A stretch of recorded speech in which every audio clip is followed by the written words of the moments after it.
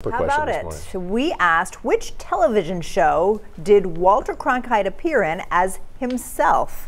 Murphy Brown, Lou Grant, or The Newsroom? Wasn't the newsroom the most recent of the three? Is that the HBO show? I don't even know what I, it is. Yeah, I think so, and I don't think he was alive when that Oh, was wow. on. Right. I've never heard of Lou Grant. Sorry to say. You What? I haven't. I don't know. It was Not, a I- not even the character?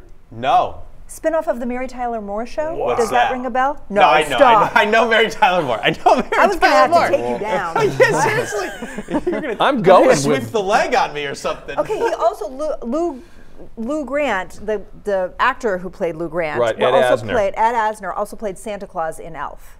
Oh, oh, okay. Okay, I know that right. guy. Phew. Okay, Yeah. sometimes That's what I'm going with too. I'm going dots. with Lou Grant? Lou Grant. Really, Yeah. I was going to go Murphy Brown. Yeah, I think it could be either one, but I'm, I'm going gonna go Grant. the newsroom.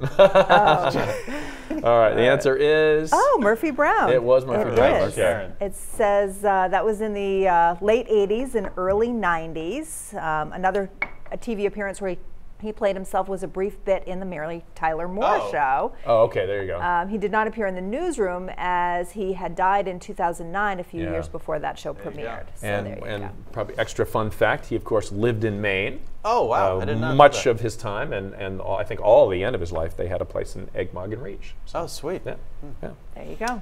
All right.